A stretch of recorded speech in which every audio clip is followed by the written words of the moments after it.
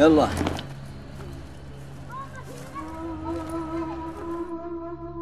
ما يشتغلوش العيال ما يشتغلوش ولا حد يشتغل وعرفت مصدر رزق منين عاد نحسن ما فيش معانا أي حاجة. وأنتم خذوا إحنا اعملونا عبرة للناس. إنها قصة العم علي أحد سكان حارة الأصنج في مدينة تعز. أب لسبعة أفراد. أحرقت الميليشيا باصه الذي كان مصدر رزقه الوحيد. يمضي كل صباح باحثا عن الحطب. خطواته المتثاقلة وفأسه الصغير هما رفاق أيامه. لم يعد يمتلك سوى عزيمة الباحث عن بارقة أمل تساعده في تجاوز محنة تسببت فيها قذائف حقد نزلت على حارتهم الوادعة فحولت ما يرتزقون منه رمادا. الدباب هذا هو الدباب رأس مالي ورزقي كانوا اولادي يشقي في بو هذا هو معيش الدباب غيره اللي كنا نشقي في بو. والله كتب في بو إنه ذو شوف قدامك أصبح حطام. وهذا المأساة اللي إحنا عايشين فيها لا حش أنا والجيران وفي غيري أشد مني وأخس كمان. ولكن الحمد لله على كل حال يعني راضين بما قسم الله. في الطريق إلى التلال المحيطة بالمدينة يمر العم علي على آثار ما خلفته حرب الميليشيا الشعواء بحق المدنيين. بصبر وتأن يصعد باحثا عن بعض الأغصان التي قد تساعده في سد العجز وليكون الحطب بدل الغاز الذي لا يصل لسكان المدينة بفعل الحصار. حزمة من الحطب هي جائزة العمل هذا اليوم. يقطعها ويحزمها ليحملها مع الأيام العصيبة فوق ظهره. حاله كحال الكثيرين من أهل تعز المحاصرة. أحد أولاده يقرر أن يجمع ما تركته الميليشيا تذكارا للمدينة فبدل أن يجمع الدفاتر والأقلام والألوان ها هو يجمع فارغ رصاصات عانت منها المدينة.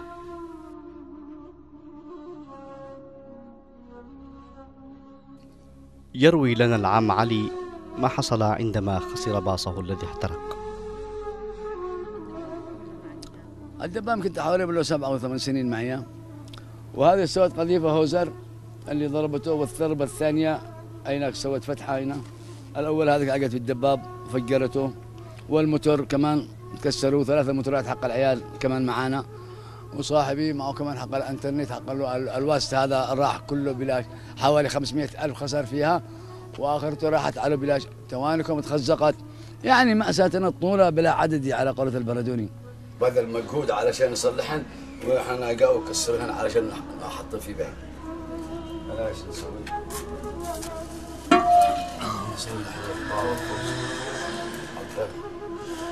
رائحة الخبز ومنظر أغصان الحطب يروي جزءا من الحكاية وزوجته تصنع الخبز لتكفي به حاجة عائلتها وترسم بسمة على وجوه أطفالها بعد أن صادرت الميليشيا الفرح والأمان. وحولتها إلى أحلام صعبة المنال. للعم علي فتاة جامعية تدرس الطب. هي الوحيدة المتبقية التي تواصل دراستها وتقتسم مع أسرتها راتبا زهيدا يستعينون به على متاعب الحياة. وكنا ستة وكنت أدرس واحدة دكتورة واحدة محاسبة واحدة بالإعدادي لحين وصلت الثانوية. الدكتورة ما خلصتش. عادي بصنعاء باقي لها سنتين هذه السنة الثالث باقي لها سنة. والمحاسبة خلصت. مش معي 10000 أروح أدفع عليه أخرج الشهادة حقه. باقي معي واحدة بأول ثانوي. بس قد بيت الله. آه بكرة تناقل الماء عادي تناقل جندية حاجة. معي الا واحدة بنت اللي مصرفة علينا اللي تدي لنا. لا معاش لا معانا لا معاش لا العيال ولا الآب ولا شيء. كان عيشتنا بالدباب. الحمد لله رب العالمين. معي. هذه بصنعاء. عنها هي تدرس هناك صنعاء معاش أربعين ألف تدي لنا عشرين ولا خمسة ألف حقي حق العلاج حق السكر. بين السكر والضغط. خمسة عشر مصاريفنا نحن أخوته. ما معنا إلا هي الوحيدة اللي تدي لنا. مصرفة علينا هي الحمد لله. والناس كلهم دارين أقول لك الجيران كلهم. إحنا ماشي الحال الحمد لله. وهذا الشيء يروح يحطب لنا واني ناقل ما و... الابن هذاك ما يرضيش يتحمل لنا ما قال لك رجلته وقعه ما يديش. أروح أديني. هو اللي تعور حسين اللي رجله قعته بالقذيفة. ما أقدرش أتحمل دم يدي. ما أروح أديني. والأب يحطب. ورجله توقع عقب صرتي الأب رجله من نفسه توقع. ونحطب ونأكل الحمد لله. أما الماء فهو قصة أخرى. فشحه وقلته تجعل من تعبئته عملا مضنيا يحتاج الوقت الكثير. يصطف الكثيرون على منهل الماء بانتظار دورهم الذي قد يطول لساعات أحيانا. وطعم العذاب يحضر بقوة لدى الكثير من أهالي المدينة. ما ما أقول ما أقول باش وصلك غير تقبل بالشارع. اسرع واحد نفسه على قدنا يلا الله الله معك الله يكون معك إن شاء الله.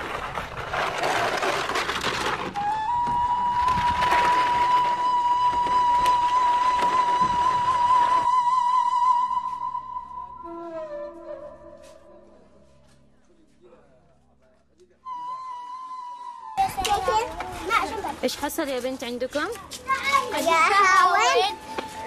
وللخزقة للمطبخ كخزقة حفرة كبير. أيوة. بعدها خرجنا من البيت ولا فوق الزقاق كسرت زقاق حقبة حميد. خرجنا وإحنا حافين دع- ندعس الزقاق والرصاص لكن وما رقدنا. أصبحت ذاكرة الأطفال معبأة بمناظر الحروب وأصواتها.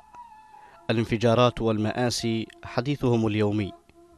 وأصبحت المعارك ثقافة يشرحون أبعادها. تعز المفجوعة بما حل بها صامدة رغم حصار ميليشيا الحوثي والمخلوع. أبناؤها رفضوا أن يتخلوا عنها وعلى الرغم مما حل بهم من نوائب صنعتها الميليشيا لكنهم باقون على أمل أن يعود الخير والسلام. رمزا تضرب به الأمثال. العم علي اعلم تماما بأننا معك. وبأنك لست وحدك.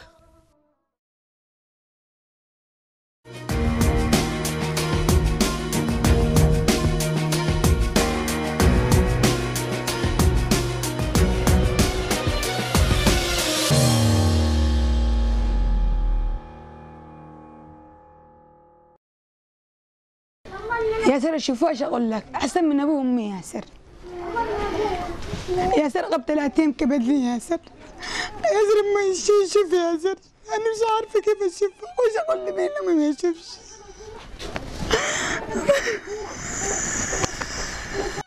ياسر عبد الله اللبني من سكان حي البساتين الفقير في الضواحي الشمالية لمدينة عدن أفقدته ميليشيا الحوثي بصره بعد أن زرعت لغما حيث كان يلعب.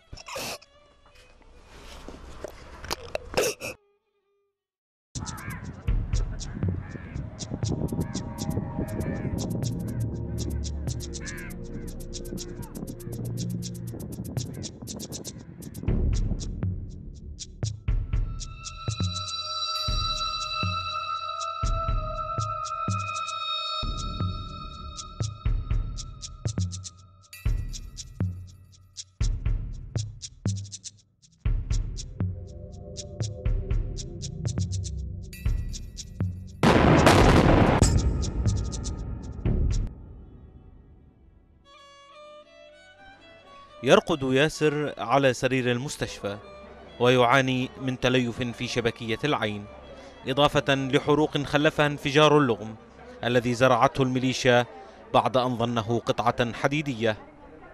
يغفو الكلام أمام مرارة الحادثة ويعجز البوح عن التعبير. الجروح والندوب ترسم خريطة لأحداث الوطن الدامية لتظل الحسرة تحتل قلوب الأمهات. ابني ابني الله يحفظه وربي يشفيه إن شاء الله. ابني ما شاء الله كان على البيت ما شاء الله نفاع. بالداخل بالخارج ما شاء الله عليه ينفع صغير وكبير. يعني ما يقولش لأي إنسان لا.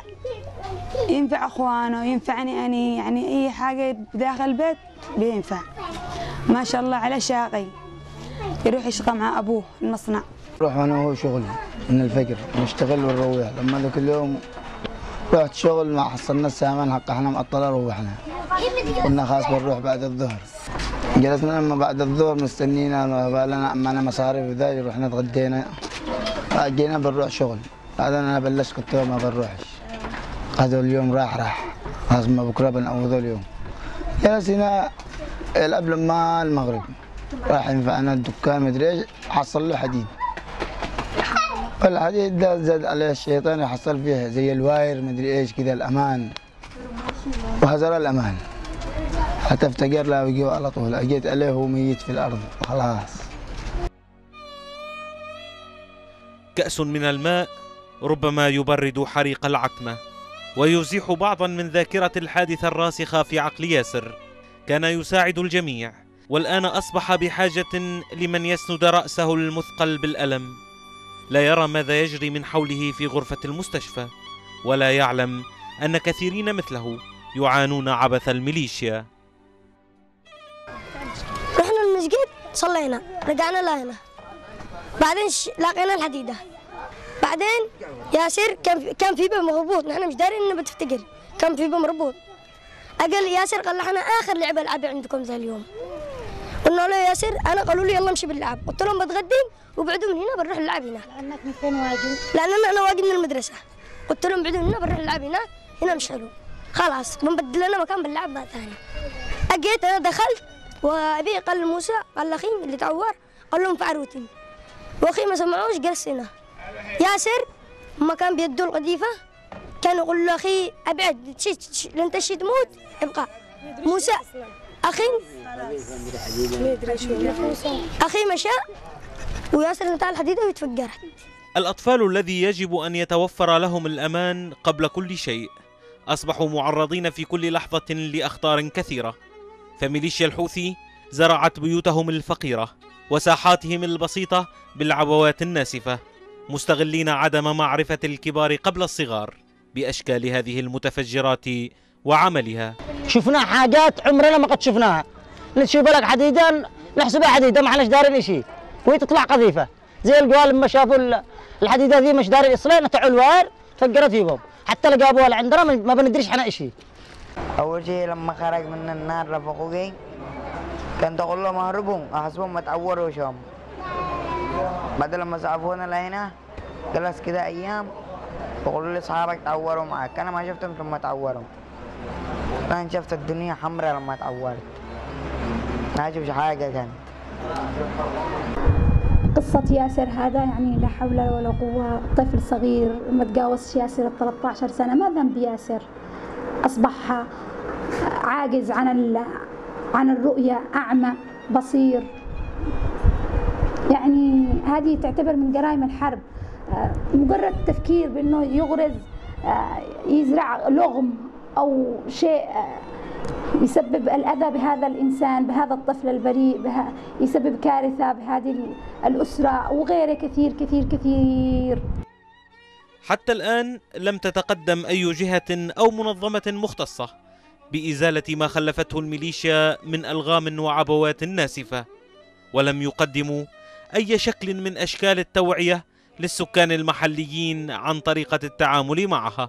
بعد الحرب العبثية التي حصلت في محافظة عدن وبعض المحافظات آه، زي لاحق وضالع وأبين وتعز آه، هي زرعت كثير من ال- الألغام والمتفجرات. في جميع ال- الأراضي وشكلوا بجامع فرق هندسية لتطهير بعض المناطق. طبعا أثناء الحرب أثناء الحرب يعني كانت هناك فرق وجودها مع المقاومة الشعبية ومع ال- الجيش الوطني. طبعا لفتح ثغرات فقط فتح ثغرات القوات للمرور فقط. لكن مسألة التطهير هي لم تتم للآن. ليش؟ لأنه هناك ما فيش جهة داعمة. وبالنسبة للمركز ال- الوطني للتعامل مع الألغام هو وقف عن عمله. آه، هي كان طبعا مدعوم من قبل الأمم المتحدة وبعض الدول. المانحة طبعا. إلى الآن هو موقف بأمان الله. إنما نأمل نأمل خير طبعا. نأمل خير والواحد فأل بالخير اليوم بدأوا إذا كان في جانب التوعية بدأ الدعم في جانب العمل التوعوي. ونتمنى أول مرة نتمنى من الله ونتمنى من الجهات الرسمية مثل في الأخ محافظ محافظه عدن وقائد المنطقة العسكرية الرابعة الاهتمام بهذا الجانب لأنه أصبحت عدن وبعض المحافظات مليئة الالقام والمتفجرات طبعا هناك ألقام مضادة للدبابات وأيضا ألقام مضادة للأفراد زرعت بشكل كثيف جدا. والآن القذائف والألغام منتشرة في المنطقة وأبنائنا الأطفال يلعبوا بالقنابل ويلعبوا بالقذائف ويلعبوا بالعبوات الناسفة. لم ينزل أي فريق مختص. من, المختصين تبع الألغام وتبع مشاكل السلاح يحلوا قضايا هؤلاء هؤلاء الناس المساكين. ميليشيا الحوثي مسؤولة عن كل هذه الانتهاكات. فهي حيث تحل يحل الدمار والخراب وكل منطقة تدخل إليها تترك فيها أدوات للموت. الحواتي يعني ما خلوناش مكان الحرب الحرب سبب في كل مكان. الحاجات.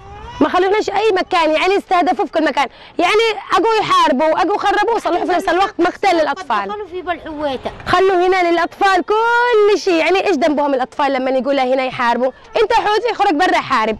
لا توصل مكان أطفال يلعبوا. إيش ذنب الأطفال هذول؟ هؤلاء البسطاء الذين لا ذنب لهم لم يشفع لهم فقرهم وبساطتهم وتركوا يستغيثون علهم يحصلون على مبلغ لإجراء عملية لإنقاذ بصر ياسر. أنا فقع فقع بقلبي وحس كان. فقعان عدم مع الأيام. تأقلمت. رجعت أصبر. من على الخير ساعدونا. شو يسووا العملية.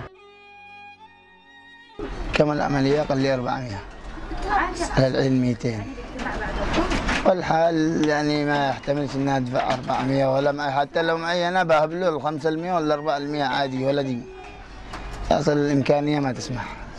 نشوف أهل الخير لهم بيتبرعوا وبيتأجروا بعين بياسر دوهم بيعالجوا. يعني بنحب المساعدة إنهم بيعالجوا. حاجة زي كده. أما نحن ما عندنا استطاعة نحن نعالجه صراحة. 400 مش قادرين نجيله ده نحن ما مش لاقين ناكل بعض الأحيان مش لاقين نلاقي اللقمة الرجال هو اللي شاغل علينا في المصنع هو اللي نحن الرجال بلا شغل. الآن اشتاني اللي حق إبر له ما ماشي معانا. حق قطرات ماشي عندنا.